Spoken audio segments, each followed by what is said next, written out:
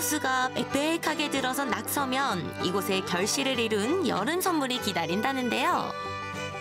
안녕하세요. 어머니. 예, 와, 안녕하세요. 안녕하세요. 지금 뭐 하고 계세요? 예, 초당 옥수수 수확하고 있습니다. 초당 옥수수요. 예. 오.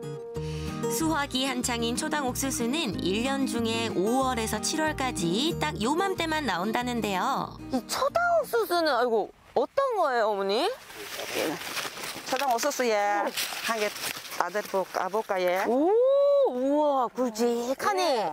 오, 색깔 너무 예뻐요, 엄청 어머니. 좋지? 아니, 이게 일반 옥수수랑 뭐가 다른 거예요? 예, 초당 옥수수는 일반 옥수수와 달리 예, 생식으로도 할 수 있고, 쪄서도 먹을 수도 있고, 옥수수가 예. 생식으로도 먹을 수 있어요?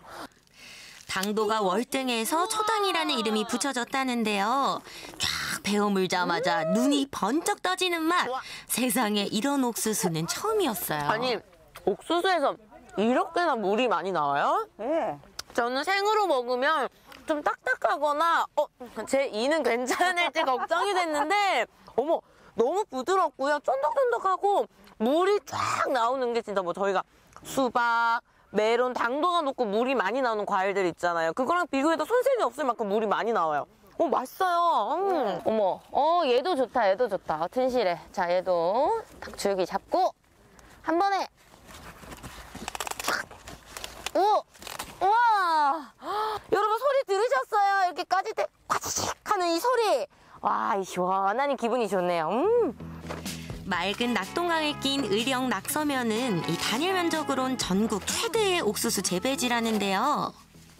근데 보니까 이 옥수수가 지금 제 키보다 훨씬 더 자랐거든요. 이만큼 크려면 얼마나 키워야 돼요? 예, 한 3개월 초당 옥수수는 여기 낙서에는 물도 좋고, 예, 다 일조량이 딴 데보다 좀 오래 가요. 근데 그 이제 햇빛도 잘 받고, 물도 좋고, 그래서 딴 것하고 좀 수확이 빠른 편이에요. 아, 초당 옥수수는. 뭐든 열심히 하는 저 이수민.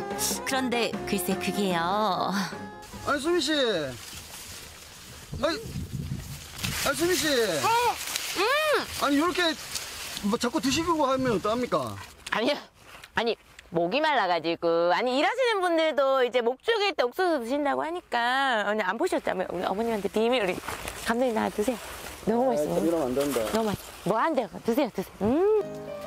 죄송합니다 어머님. 너무 맛있어서 아유 정신에 놓아 버렸습니다.